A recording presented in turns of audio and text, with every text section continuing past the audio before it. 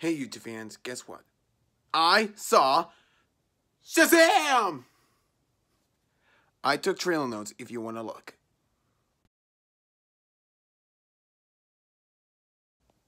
The Brightburn was very disappointing after the trailer. And then I got rid of the Dora the Explorer trailer because I'm not excited for Dora. Look at my photos I took. Check it out.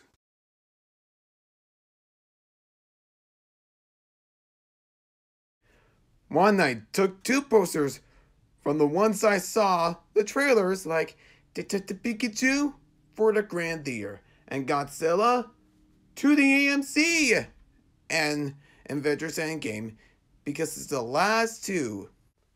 And I took the poster for Hobbs and Shaw. That's the movie I want to see at the Prairie Theater in Ogallala, Nebraska. What movie shall I see next? Drum roll, please.